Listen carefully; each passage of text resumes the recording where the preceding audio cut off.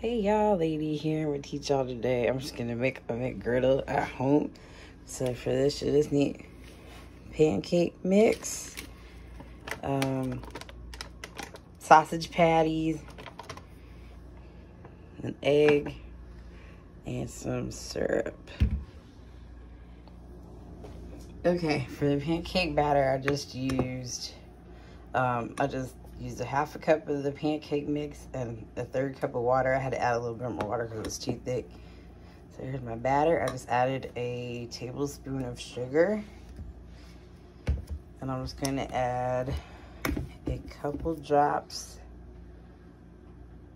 or just like a swirl of syrup into the batter. So mix it in there. Uh, recipe just for one. You can double it or triple it, depending on how many you want. So I'm only gonna use one sausage patty and one egg. So in my skillet, I'm just gonna spray it.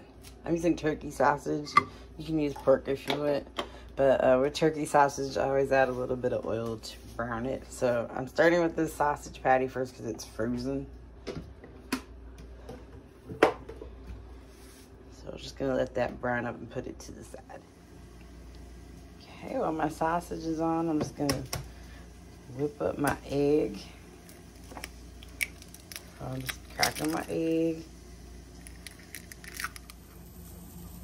Okay, then add a little black pepper and a dash of salt to my egg. Let's have it in a little cup. I'm gonna whip it with the fork. You could add a little bit of milk in here if you want, or just leave it as it is. This is a um, great way to save some money because McGriddles cost about three or four dollars a piece. Unless they're like doing a special, but you can get like a dozen eggs for like a dollar. Pancake mix for two bucks, and like the bag of sausage for like six. And you can um, put them in freezer bags, take the air out, and just freeze them, and then reheat them and eat them later also. My sausage is done. I like my brown, so oh, I just let it cook a little longer. So I'm gonna put that to the side. Um, I'm gonna wipe out my pan and then we'll fry up the egg and the pancakes. Uh, some people like to use mason jar rings to make the pancakes and the eggs. I'm not going to, but you can if you want to. Alright, for there, we're gonna make this kind of like an omelet spray my pan. I'll just, I got my meat, on, my meat, ugh, my heat on like medium.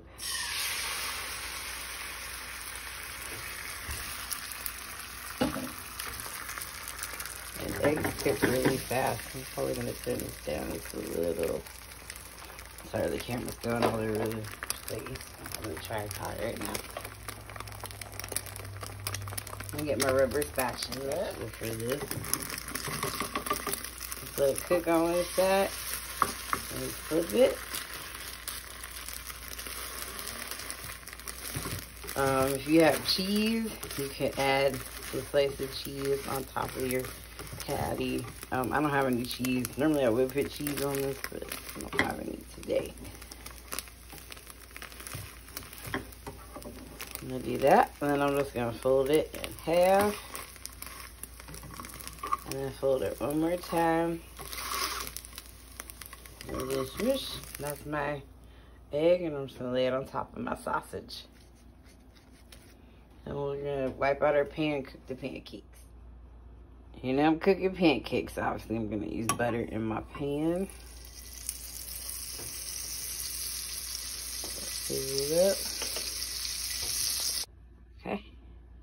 You can use your scoop or your spoon. I'm just going to spoon my batter in. I'm just going to eyeball this. And I'm just going to do two pancakes the same size. Looks good. Okay, y'all remember my saying from last time. Butter, batter, bubbles, and flip. So now we're just waiting for the bubbles. I'm to turn this back, turn the heat back up. See this a lot better in this video. I was talking about the bubbles.